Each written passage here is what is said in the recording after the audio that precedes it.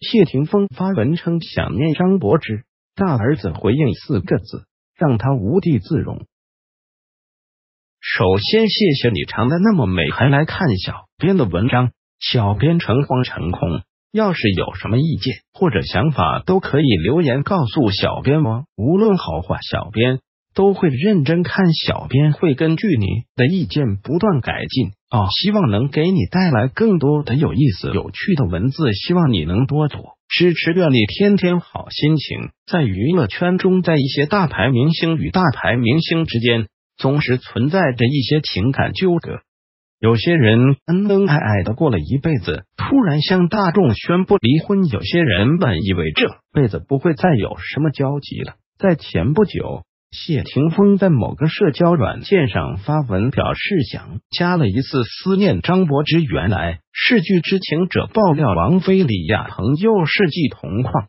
大家都知道，李亚鹏号称中国好前任，两人离婚这么久，可是在一起。却仿佛给人没有离婚的感觉。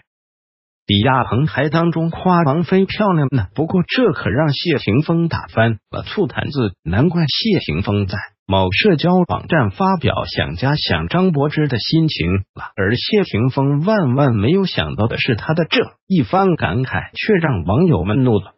王菲不理你，你就想起张柏芝了？你当张柏芝是什么人呢？